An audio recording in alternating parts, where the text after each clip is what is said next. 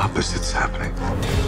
Never felt more unsafe in my life. The love story of Bobby Cannavale and Rose Byrne began in 2012 after the couple met through a pair of mutual friends just as Rose was concluding her five-season run on the legal drama Damages, and Bobby was wrapping up his star-making turn in season 3 of Boardwalk Empire. Since then, both actors have continued to see their careers rise to new heights. But despite their very public profiles, the Australian-born actress and her New Jersey native partner have managed to keep the vast majority of their relationship out of the spotlight. Rose once explained the rationale behind this decision to Vanity Fair in 2019, telling them, I mean, press is not something we do all the time, but we're trying to go with the flow. We're generally pretty private. Also, Michael and I have dropped our own house tour of our new home that we moved into this year, so go ahead and subscribe to our personal channel if you want to see where we're living and more of what we're up to. In these videos, we don't reveal any addresses, and even though I've done a house tour of my own place, please do not show up at any private residences because it's not safe for anyone.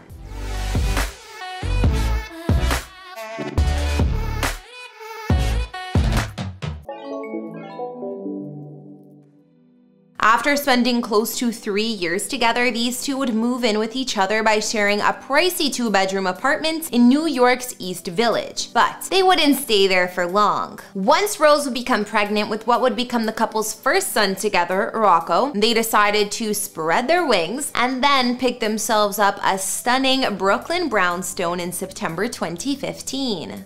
At the time, they splashed $2.15 million on a 2,700 square foot, three story townhouse located on a tree lined street in Brooklyn's historic Boerum Hill. According to property records, the home's previous owners were another showbiz couple, more specifically, Annie Parisse and Paul Sparks, both of whom have acted alongside Bobby before. So something tells me that they had an inside track on this place. At the time that they bought their new home, the house was set up so that Bobby and Rose could have easily offset their mortgage and expenses by renting out a ground floor apartment in what was then a two-unit building. Rose and Bobby ultimately decided not to do that for reasons that will become obvious as we continue, but for now, let's take a look at the home as it was when these two first purchased it. For starters, the ground floor unit boasted one bedroom, one bath, and an open plan floor arrangement that included its own living, dining, and kitchen areas. Renters here were also given exclusive access to laundry facilities in the basement as well as a tiny terrace that steps down into a backyard garden. Meanwhile, the upper level main unit consisted of a parlor floor that opened up into a loft-like combo living and dining room with thin strip wooden floors, whitewashed exposed brick walls, and an entire section of floor-to-ceiling built-in bookshelves. Towards the back end of that parlor floor was an upgraded and nearly all-white kitchen with a center island. Not far from there was a private garden viewing deck and a laundry nook, as well as a half bathroom that opened directly into the kitchen, which is kind of weird, but anyways. Up on the top floor of the duplex unit were two bedrooms, both of which offered exposed beam ceilings and one of which was dividable into two separate, smaller bedrooms should the need to house an extra guest arise. As happy as Bobby and Rose were with their brand new home, they understood that in order to make it the perfect place to raise their family, they'd need to undertake a lot of renovations. So they hired trusted architect Frederick Tang and got to work. With their new home having been originally built in 1899, you could say that Bobby and Rose's property was due for an update by the time they moved in some 116 years later. But more than just that, this Hollywood couple wanted their residence to reflect their own unique personalities. With their home being located in Boerum Hill, a neighborhood known for having a row of houses each painted a different color, one of the first things Rose and Bobby wanted was for their home to take part in those festivities. So working with their architect, they settled on a bold color selection known as Benjamin Moore's Heather Pink.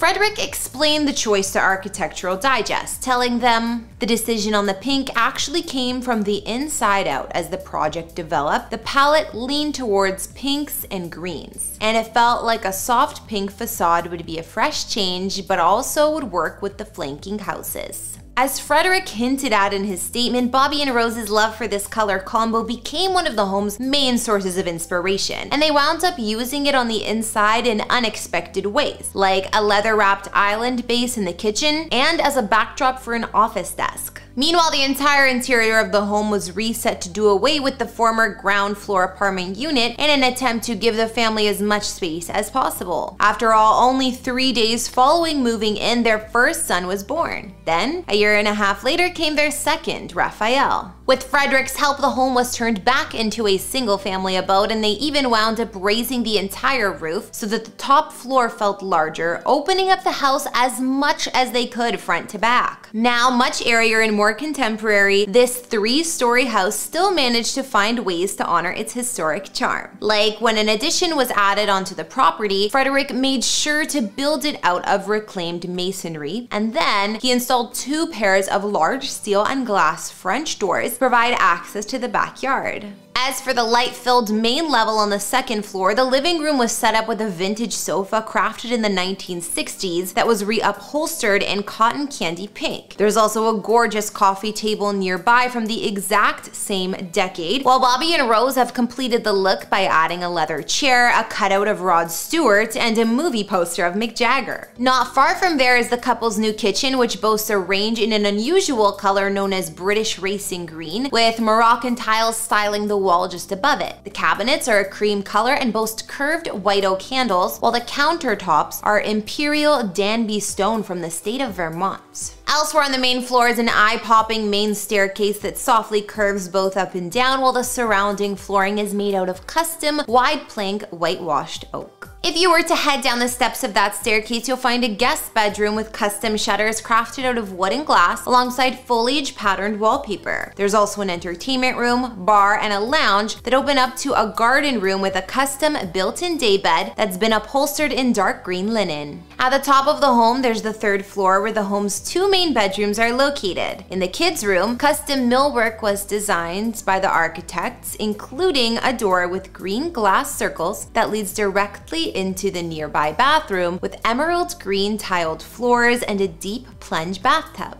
As for Bobby and Rose's master bedroom, it might be a little small, but it includes a custom white oak headboard as well as end tables that have been finished off with brass rod lamps hanging just above them. To cap off their gorgeous renovation designs, Bobby and Rose hired Brook Landscape to turn what was originally a kind of drab and overgrown backyard into a lush garden with vintage 1960s white fiberglass chairs that are more or less the very definition of chic. So what do you guys think? It both sounds and looks like paradise now that they've reinvented the place, right? Well, before we call it a day, I've got one more story to tell you about this place. Now my best guess is a lot of you are here watching this video after binging Bobby Cannavale's new Netflix series The Watcher. I mean I've seen it all myself and it's a pretty exciting few hours of TV, even if the ending does leave a little, okay maybe more like a lot to be desired. But here is the surprising thing. Not only is the story of that series based on a real life occurrence, but something strangely similar once happened to Bobby soon after moving into this Brooklyn house. During a recent press tour to promote this series, Bobby would provide the PA news agency with details of what happened to him and his family, telling them, two years ago, we got a letter on our backyard, on our terrace. It looked like it was written by a child, saying if you keep up the noise, you're gonna have a problem. Well, as you might imagine, discovering this letter freaked Bobby out. But here's the thing, he never told Rose about it. While debating what to do about this threatening letter, Bobby didn't want to upset his partner or children, and he worried that if he told Rose the truth, she would want to move. Luckily, after staring at the letter for a good long while, it struck Bobby that he actually recognized the handwriting. In fact, it looked similar to cards he'd received from a neighboring family, and he realized that the author of the note might have been the family's little boy.